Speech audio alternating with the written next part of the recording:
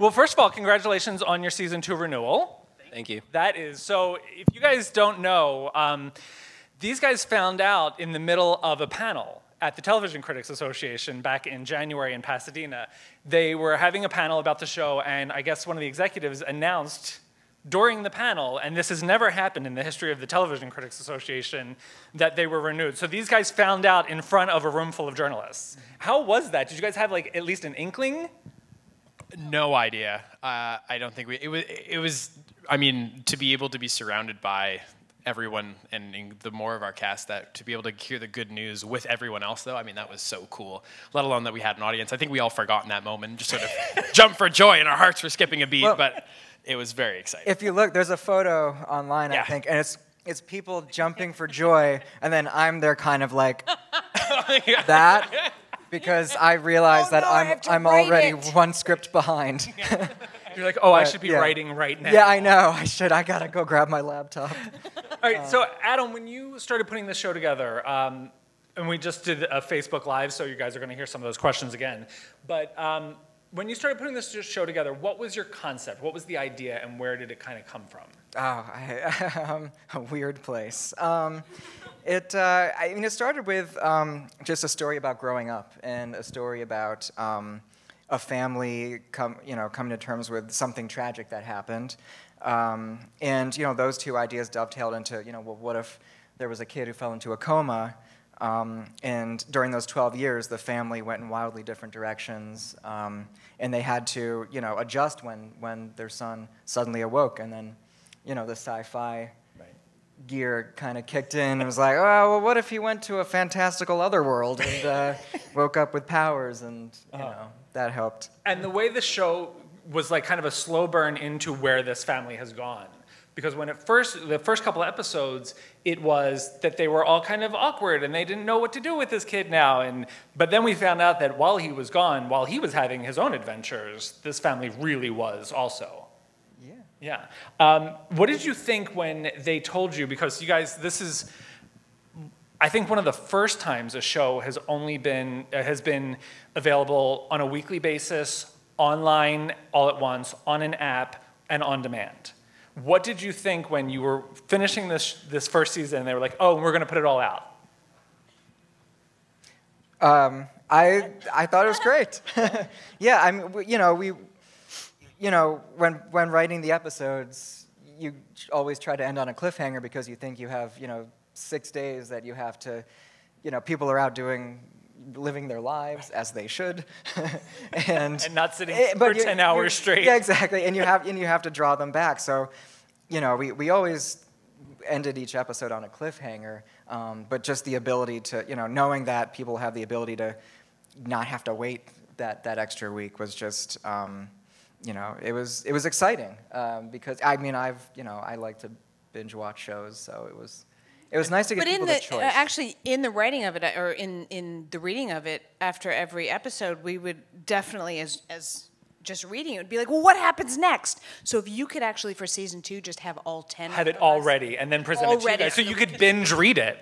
That's Yeah. what I'm saying. Yeah. I mean, and how are you guys? Are you guys watching it on a weekly basis, or did you guys, when it's when it became available, did you just watch it all? I binged it. i binged it i think i i, I mean I, i, binged did- it too. I was just too excited. yeah I wanted to know what was happening in the first four episodes too. Really I'm badly. old, so I want them to come over to the house and act it out. There you go. we perform each episode You're for like still Romy setting live. the VCR for it. Yeah. But, but we don't have the money to, you know, put that up on screen, so we do it, we do it like a puppet show. And we all have, it's just sock puppets. That would be so cool. that would be the coolest. You Now do it that- on the DVD extras. Um, so since we have 90% of the Matthews family here, how did you come about? How did this family come together as a casting? Um, it, uh, uh, Yeah. Over the course of a couple months, I think, you know, it's, it's, How good were we? yes. Um, Who's your favorite child? Yeah, I, I think we really, um, y- you know, you, you have to look at, in, in casting a family, um, you, you can either find people that uh, look like one another, or you can, you know, find um, fantastic actors. Uh, and these were, you know, everyone who we, we cast. Which, which one are we? Yeah, That's that's an excellent question. yeah. Only I know the answer to that. Yeah. Um, no, I mean these were everyone came in and just knocked it out of the park, and you know just there's you know um, they they they were in, you know who I envisioned in my mind, so it was it was easy actually And for me. For you guys, Burkely, Burkely and John mostly, when you guys were cast as brothers, what was the process for you guys of like bonding as brothers? Or did you, was it better for you guys to like really not know each other since you were in a coma for 12 years? I mean, there there there are elements of that, but I I think one of the fun, uh, I mean, parts of the show too is, is just sort of having that sort of innate brotherly bond that um, Luke and Holden both are attached to. Um, I, I think it's grounded in the fact that I think me and John, even just right out on the get go, got along so well, and I think we're just really good pals, and buddies that you know we you know confide in each other. We hang out. We just sort of you know see each other when we can. So I think it was an easy way to Yeah, sort it of was, it was just nice to like I don't know. He was he lives so close to me. We're in the same city. It was just easy to get together, and it wasn't yeah, it wasn't very hard. It was like day Build that one. I was like, I know I'm going to be spending a lot of time with you. Yeah.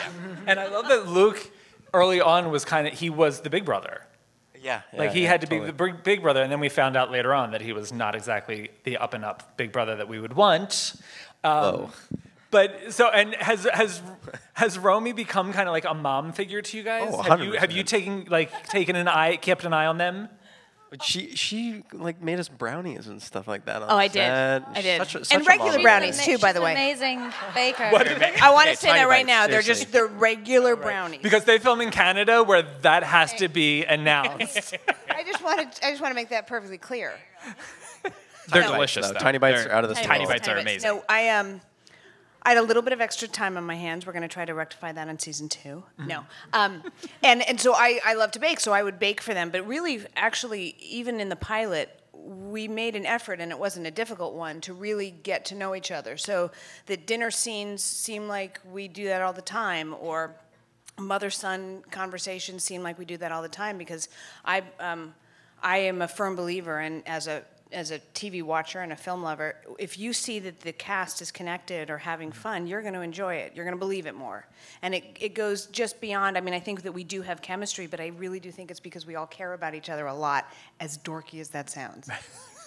and now, Eden, you joined five episodes in or four episodes in. How was that coming in with you know this group that is has bonded? I was just like, I'm not supposed to be here.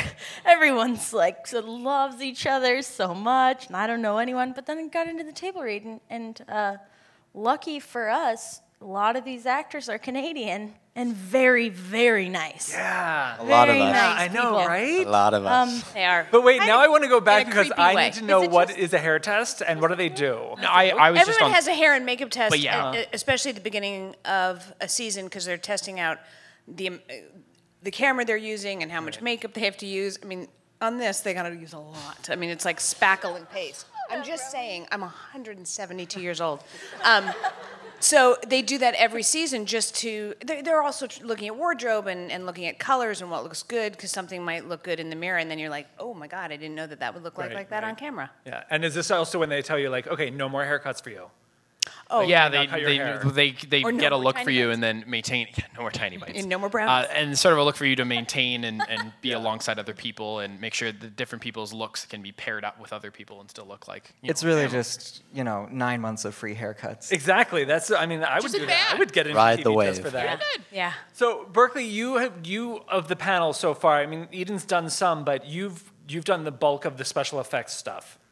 You and Dylan, who plays Willa. Um, what is it like, basically filming scenes where you're literally the only real thing in the room? it, it's it's a lot of fun. I mean, you you get an environment where you I will be on like a green floor and a green screen, and they're like, "That's sca- something scary's coming this way," and you run towards the, the nothing over there. But it's it's it's a lot of fun, and it, it, I mean, in saying that, it is a That's actually what it says in the script. There's no, Yeah, it does, there's no it's, it's word. not, it's not mountain. We don't it's even just know like something scary. it's something's coming Holden at you. runs from something scary. but I mean, in as much as we joke too, it is a it's a very collaborative process of the directors, the writers, the visual teams look give like sketches of what they have, the ideas of where things of like sort of what I'm reacting to, and it's it's kind of fun. It's the sort of the purest sort of imaginative state of being able to act to what you can imagine is there, and so I am sort of fabricating whatever I'm being told to fabricate in my mind, and then it's kind of it's fun. It's it's an interesting part of the job to be able to to be able to do. Is that what you do when you're acting with me? I just imagine you as as as I don't. Uh, So are- let's go back to this episode you guys just watched. Um, so, but you also work with practical effects, um, and I just want to know: was the TV wired to blow up during their cabin scene? Everything was wired. Everything was wired. everything was wired. It was Every, everything was, was, uh, like so. Damian, I don't actually have telekinetic powers. I'm well, sorry no, to no, break no. I it just to you. was it added in like because if that's what happened, I know. you yeah. Yeah. Wait, this isn't a reality show. What's going on? I am out of here. Um, was it was it something that had to be done in post, or did you have to blow up a TV every time these two got into bed? Wait, wait. There was no other way to say that. Yeah. I think I we mean, there were was, under but the I covers can't. when it was all happening, kind of like hiding out under the covers while everything was blowing Yeah, up. we didn't see it. So we didn't really we see didn't, anything. We, that we didn't really going see because we were. Un- Okay. It was. We were blocking. We had no, there was no there's no visual cues. You couldn't see the room. Right, right. They were working. We were Yeah. working. There was one. It was one it thing. was dark. Right. Yeah. There was one thing in that scene where th- they, I don't remember if you see it or not, but uh, they had like a fire, extinguisher, go off. Yeah. And I Wow. can't quite even remember what was happening, but I think our feet were hanging out of the end of like bed covers and and, And a happened, cold and blast of like, fire Oh my god! You feel that. That is something that is like, oh, okay. And so that was that's that is I re- that's the thing is I it agree. was all rigged. Though. the one thing that you remember. I hope no one told you that the fire extinguisher was going to go out. right, so- yeah. They're just like that. Someone's on fire. So Okay, so I want to talk about Luke's trajectory now because we talked about this at Facebook Live, and I'm deeply concerned about this character because even though he is, he's, you know, he's a college student, and they get into like trouble, and but there seems to be a level of recklessness in this kid that we didn't know because when we see him in the family scenes and when we see him with Holden, he's being very responsible and he's being very considerate and caring, but then we see him at school and being very reckless. Yeah, no, I um, it's definitely like, you know, having you know Holden come out of the coma and him trying to kind of establish his own identity and you know seek some kind of normalcy in his life. It's definitely, you know, those events are the catalyst for him kind of you know going down this path, and it's just like.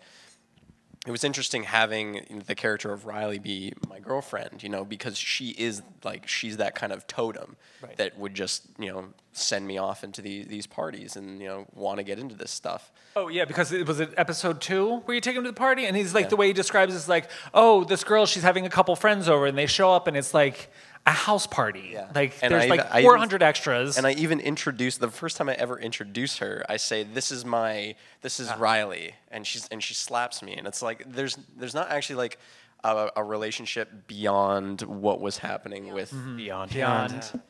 Yeah. So many puns, Yeah. so many. But do you beyond find that it's absolutely irresponsible for him to keep his drugs and condoms in a Ziploc bag? Hey, you need to put Like them he's not even trying to hide it. Like get a nice wooden box or a drawer. Ah. Block back. you need to like, see this right is like you're ready to go on an airplane and be like, oh, it's just my toiletries. Are those TSA? It's just e- easily accessible. You Uh-huh. can see everything on the outside, so you're not rummaging through. It's just it, it makes sense. Yeah. But it seems like in this episode that we just watched well. that he is taking a step towards being a little bit more um, more invested in his brother's well-being and his family's well-being. Yeah, I think he's realizing the repercussions of his actions, and again, like his his through line is that he just wants to have some normalcy in his life, and I feel like he just wants to have that glue that was there with the family prior to uh, the coma. Right. Um, you know, I, I, I, I can definitely like I, I just related to that so much, and um, I empathize with with Luke. Right. And now for that seeking normalcy, he goes and finds this weird mystery girl with one name who has you know connected to drawings of another world. This kid is on a great search. I'm, I'm I, I just hit He is finding normalcy around the corner. Oh yeah. Does this draw you into the conspiracy? Like, do you get to be a part of maybe a rescue or an action stuff? Uh, there's definitely some some hints that uh, you know the the bonds between him and Luke, uh, Willa are going to be uh, uh, a little more um, engaging over the next few episodes. Engaging. Yeah. Is that like they were blocking? it's. It, it- I think it's in the sense of like. Uh, I'm trying to say this without giving spoilers. How are Um, you supposed to tease things when it's all been released? Yeah. No, That's exactly, that- and I don't know how that's much the- I'm supposed to say. How many of you have seen every episode? Yeah, who's, who's seen it? Actually Who binged binged it. it? okay, so Alright, most so- people are week. So don't spoil it. Okay, that's cool. So I'm we- we watching still it one week yeah, at a so time. No spoilers. That's good. No spoilers. Okay. Um, no. but you guys definitely. will work together. There's definitely going to be some teaming up All with right. certain people. okay. Now, Just spoiled it. Teaming up. now Charlie, and I did not trust this girl as soon as she showed up. Because first of all, anyone who's in Monte Carlo, I'm like, they're trouble. They're trouble, and they're counting She's cards. crazy. And I She's feel like she should have a crazy lot more money considering what she can do. Um, we just got hints tonight of that she may be more powerful or more dangerous than we've been led to believe. That she's not just able to see numbers and, and these equations, but there's something that this girl is possibly running from. Mm-hmm. Yeah. When, when did you find out that this character was, was troublesome? Troublesome. Troublesome, like running from things. Well, once she has the freak out in the parking lot on the phone, I'm like, okay, this girl is, there's a couple wires that aren't connecting. yeah. Yeah, I love that scene, by the way. yeah. Yeah, it was a great. Yeah. Um, when did I find out that she was troublesome? Hmm. Um, you're right from the very start. Okay. She's a she's she's a she's a hustler. Yeah, she's a gam she's a gambler, and uh, I I don't think she's afraid to gamble with her life. Okay, all right. We're, I'm, I'm assuming we're How going to cool find. did that sound? Write that cool. We're going to Yeah, that gamble was with cool. her life. Beyond. Uh, Not afraid to gamble with your life. I'm just saying. Uh, yeah, I, I, but I, I don't. I don't know. She. It's been. A, I mean, it's always exciting to kind of read script by script, episode by episode, what, um, how the character is is developing, and um, you know, you definitely get to see a little bit more of a vulnerable side of Charlie. Um, but yeah, God, I, I mean, your guess is as good as mine with what she's running from or running. Okay. I know what she's running toward. Um, Yeah, we saw it in this scene. Yeah, she's got she, she's got I, she doesn't I, Charlie has a lot of money. She doesn't have I don't think she's got a lot that she holds too close to her except for Annabelle.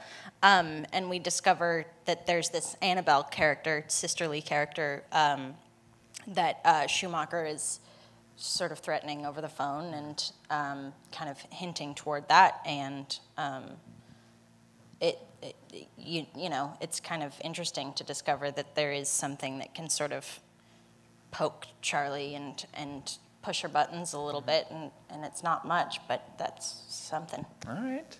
but yeah she's she's she's trouble I don't know if I can trust her Right? Yeah, because I was like, I was- don't and then I was like, any- I was thinking maybe they wouldn't go all the way because, like, you know, maybe she's not good for him, and then clearly she was. You know, I keep you guys are adults, so.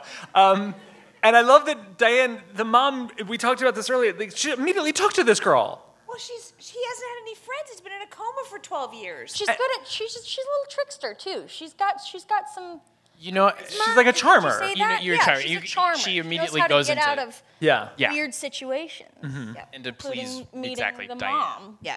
Yeah, and the mom is like right on board for this. She's like, especially because like the only other friend he had was killed. right Yeah. Yeah. Oh, don't Yeah. remind me. That is that was sad. Yeah. Isn't it? I know, did not see that coming. like he has Take one friend. out for he comes, dinner he comes out of the coma. He's got one friend, man. and you kill him. You go on, take that girl for Yeah. a date. So now, and Diane is now didn't see this one coming at all. I thought the domestic drama was going to be a specific story in itself. That we were just like there was going to be the parents, and, and that was going to be separated from the, the the beyond stuff, the realm stuff. But now we're finding out today in this episode that the creepy preacher who because i said to them i'm like never trust a preacher who wears short sleeves in the collar i do not trust that man But let's. I mean, he's got really nice blue eyes. beautiful so eyes but only- but and adam pointed out if some of you may not notice that they were open when he kissed her which is gross yeah which, is gross Which, by the way, is We're the not actor. I was not we're aware not of that, and I no hope it's it was a- gross if your I'm eyes just are saying- open Safe space. I hope it was a character. I really do hope it was a character choice. I want to get Chad on the phone like now. Like Maybe the Chad- insecurities. I was like, wait, what? so what can you tell us about Diane's because we don't know what transpired between her, her She's going to conversation sleep, with her sleep her way through the town. Is that going to happen? No? Yeah, No. She's going to sleep her way through the town. The next is season not- is the principal. Um, That's not going to happen. Uh, What? Because we don't know what transpired. What what your husband told you, and then well, what happened. separated. So, in- Separated, in, all yeah. fairness, we so we don't other know people. exactly if his information landed. No, you don't. Well, because he's um, Tom's done this before. He went kind of nutty cuckoo Mm-hmm. um, when it's a term. I think we can look Technical It term. It's technical. Um, it's it's a technical yeah. term. It's an acting term. You went nutty cuckoo, um, and uh, so she's used to this kind of oh my, he's on his, another conspiracy thing, but his his the emotion behind it and it's still the father of her kids it's still the, the, the man she loves but he's on one of those crazy loops again. But then there's there is that one moment with what he says in regards to holden and everything that's been going on that she questions it. And then when ian pastor ian shows up at the door it's like she was attracted to him because he listened to her because he was sensitive because he was everything that tom wasn't so it's that you know the angel devil where you don't want to believe it, but uh, so she she she lets him in. So we'll just have to see where that goes. No, I got all these questions. Don't break my heart. re- Remember, there's all these other guys in town. Yes, Sheriff Dayton. there is. You know, the driver's ed instructor is still around. Ah. We don't know if that guy from the cabin survives. That marriage may not work. That, yeah, that is true. nice that is true. Yeah. That is true. who I, I just saw him in series of unfortunate events in the first episode, and he was on the trolley. Ah. I was like, hi! Okay, so that's what I wanted to. Look who it is! So you guys, this show films in Vancouver, and there are actually at this point there were about a month ago there were 65 productions in Vancouver going on. Did you guys run into any of the other shows while filming this?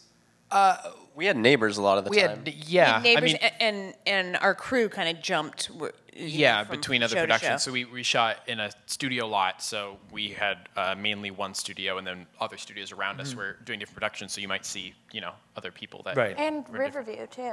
Sorry. Riverdale. Oh, Riverdale, Yeah. Riverview. Riverview. Yeah, yeah. oh, is, the uh, insane asylum. yeah, Yes. Manly High. Uh, yeah, and uh, Wait, you guys were filming in an insane asylum, and so was Riverdale. No, no, no, no, no. Sorry, this is totally separate from Riverdale. This has nothing to do with Riverdale. The loca- The insane asylum was called Riverview. Ah, okay. Yeah, That's right. Yeah, no, and, you know that. Yep. And there, were productions filming there simultaneously all the it's time. massive. Multiple. It's hu- Okay. huge X-Files. property. Because I feel like there should be And like it's a also Vancouver haunted. softball league, It's also- like where all the shows play each other. Go to the basement. Yeah. yeah. Play- oh, That and would be- You- there should be a Vancouver softball league for all of the TV Yeah. shows that film up there. It would be a massive, Oh, that would be cool. it would be the softball league. prettiest softball league ever, as well. Probably not the most talented at actually. Probably not, sport no, because they all need special effects to do their stunts. We're very interesting. Yeah, exactly. You get our stunt doubles out. Oh, then, like, then you run. And you pinch them. Yeah, yeah. That would be funny though. So, Adam, you came from you. We talked about your your pedigree of you know Lost and Once Upon a Time in Wonderland and Tron. Um, was there any? Is there is that a difficulty for you in creating a new property to not kind of like cannibalize your own ideas from past projects?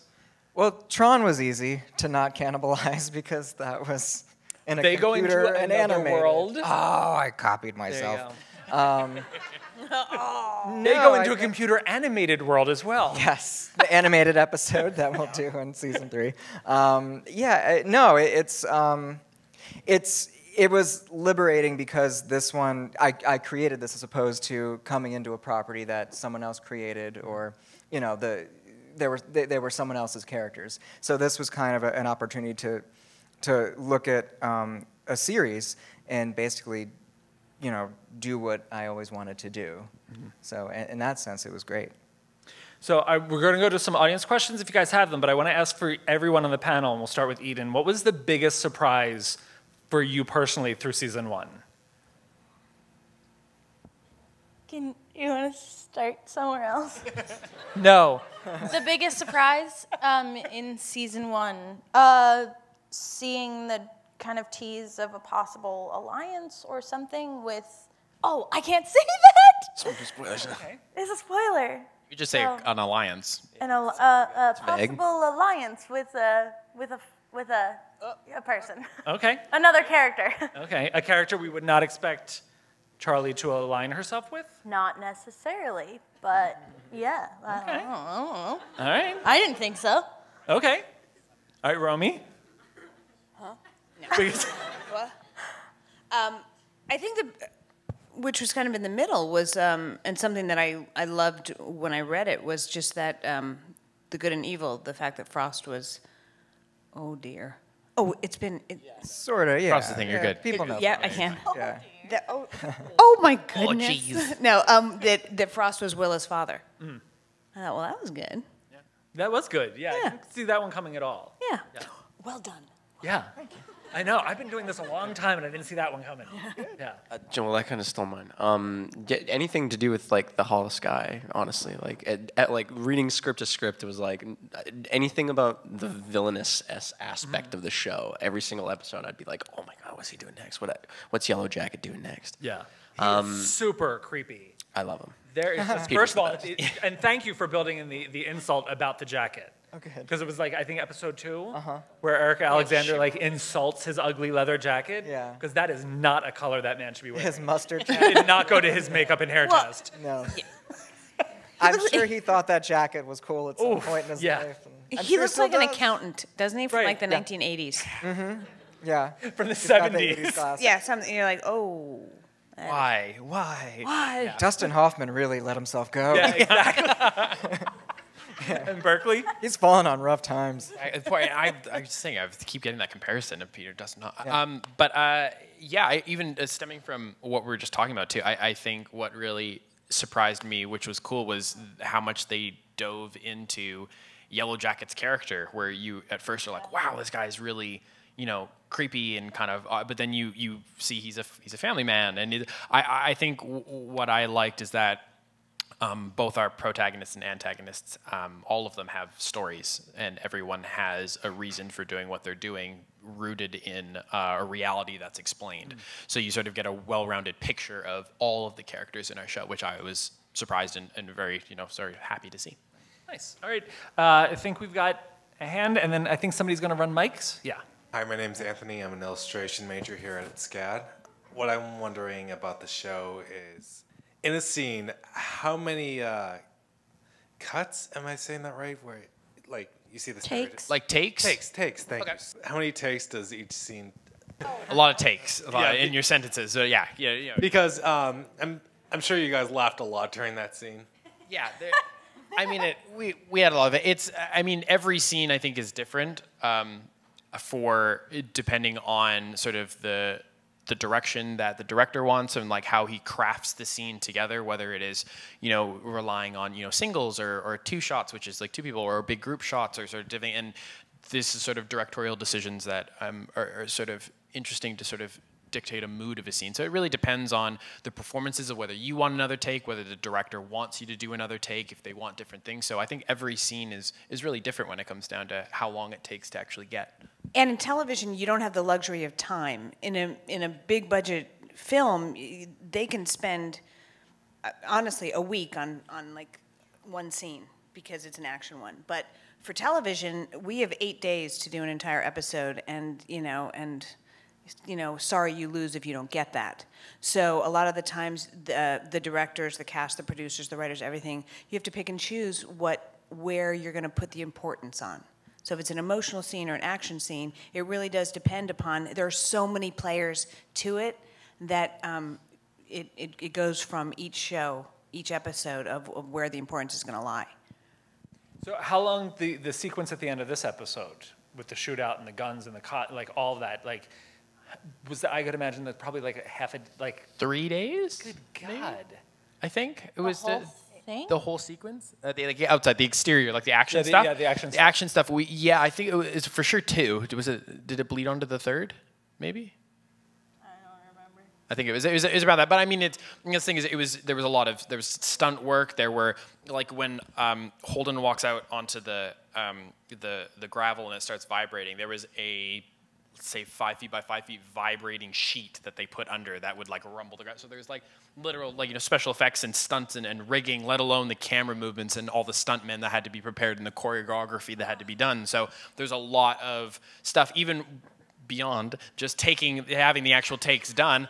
I'm gonna say it was three days to shoot and maybe a month to edit. I think. Yeah, was- that's exact something that we scene don't see came too. together. Yeah. Hi, I'm Hi. Casey. I'm a dramatic writer here at SCAD, and um, my question is really for the creator. Like, so you got this like out of box story, and you finally get it picked up. Like, once you get it picked up, what was your like thought process on moving forward? Oh my God, I have to what? I have to write how many?